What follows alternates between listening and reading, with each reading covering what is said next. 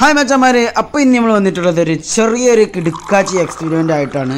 അപ്പോൾ അതിനുവേണ്ടി നമ്മളൊരു ഗ്ലാസ്സിൽ കുറച്ച് വെള്ളം എടുത്തിട്ടുണ്ട്.